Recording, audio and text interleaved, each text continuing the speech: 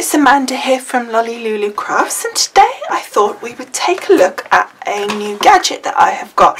We have for some time had the Misti Stamper and I noticed that quite recently um, at CHA quite a few companies bought out their versions of it with different amendments and the one that I quite like the look of was We R Memory Keepers. And I also purchased one of their stamps just because I thought it would be fun. So it comes in the packaging like so.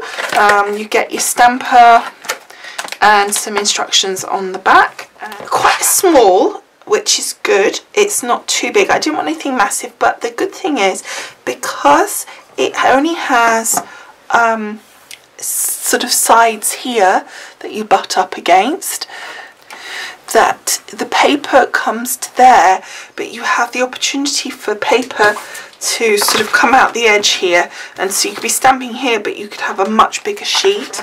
It's got a little spongy corner there so that it keeps that flat and balanced. Um, you have a grid surface here so you can make sure everything's lined up and apparently these hinges work in such a way that you don't have to put anything on the base um, when you alter the stamps. So if you use a red rubber stamp as opposed to um, just a clear stamp it should work just as good because of the way the hinges operate. So um, it's pretty basic. It's just saying you know position your paper put the stamp on press it down re-ink if you want to um, and then do the next layer and line it up. So let's have a little play using this stamp set here. I'm assuming this is to assist us in ensuring that each piece is put in correctly. So let's have a little read. So you are using this stamper you put this on wherever you want it to be on your paper. So that's going to work just fine. That's in that corner lovely. So that's perfect. So you start with the black and then the magenta, then the cyan, then the yellow. Okay, and then I'm going to get some black ink. I'm actually just going to use some VersaFine here because my stamp. And then all we need to do is make sure our paper's lined up and then shut the lid and give it a good press down and if of course it doesn't ink perfectly like it didn't there you can just go back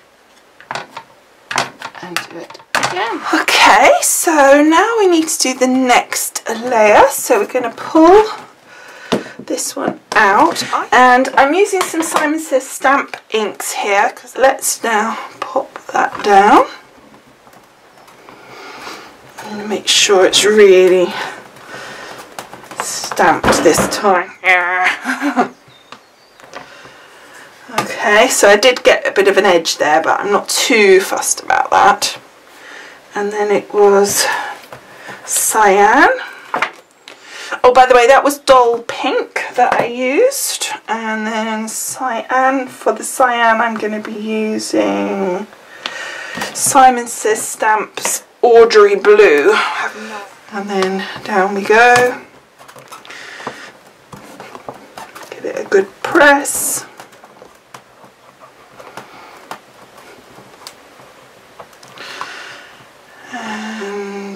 needs to go again because we've only done some of it.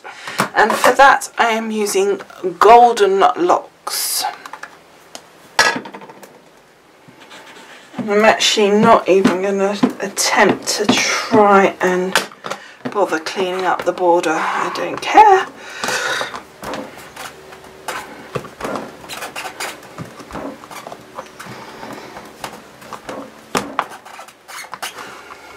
Feel like I've got to really press hard. Uh, I think I'm not, that one's come out fine. I'm going to try it as well with just some regular stamps and see how that works. Maybe like a Stampin' Up stamp. Let's try. We've got a balloon here.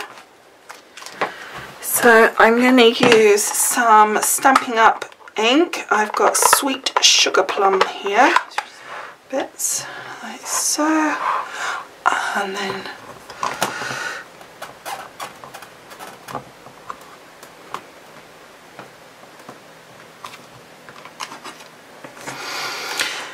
Okay.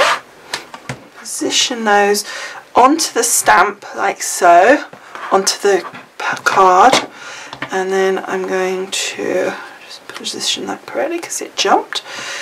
Pick up my card.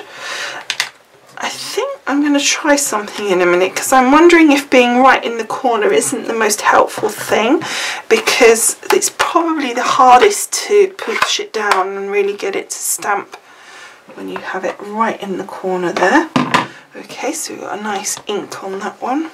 And then, because you kind of got no give in the corner in the same way as perhaps further along. Actually that one's stamped fine. Let's try that again with the balloon, but let's now put it over into the middle here a bit more and see if it makes any difference.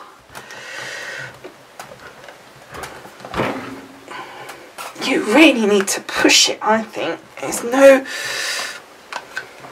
Yeah, see, it's... The ink's there, but it hasn't stamped. Okay, let's see what difference it makes if we use a red rubber stamp with that extra thickness and the cushioning. Well, that feels a lot easier. Yeah, I mean, if I'd have cleaned that up, that would have been fine. So it feels like you do need something extra that like the cushioning because the thin stamps, the clear stamps just don't feel thick enough, even their own ones. Um, I don't know if you put kind of something down, like just a piece of card even, whether that would help. Just was curious what would happen if I put a piece of rubber down in the corner there. Similar position as we did just now. I've done it again, I put it on upside down. Just seeing if by putting a, like a rubber shim, as it were, for want of a better word, in the corner will make a difference. So I'm still using that um, sweet sugar plum. Of course, you sort of harder to butt the card up to the edge now, but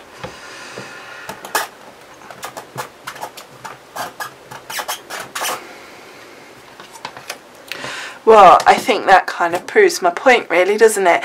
It definitely needs that extra bounce. I mean, that is a perfect impression. Right. So I hope you enjoyed taking a little look at this and um, I hope you found it useful to see how it works and kind of if you've been having the same problems I'd be interested to know if you had the same issues with it or whether I'm just missing something completely here with what you're supposed to do um, then I'd be interested if you could leave a comment and let me know um, or if you haven't been having problems and tell me what you've been doing differently. Anyway, I hope you found it interesting. Thank you so much for watching and I will see you again soon. Bye for now. Bye.